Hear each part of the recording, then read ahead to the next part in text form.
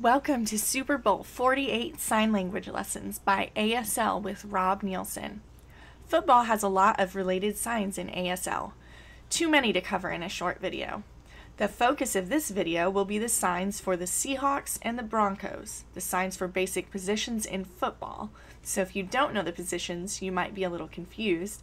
And then you'll see the signs, classifiers, and concepts used as Rob tells you about the game between the Broncos and the Seahawks. Who will win? Well, you'll just have to watch and see.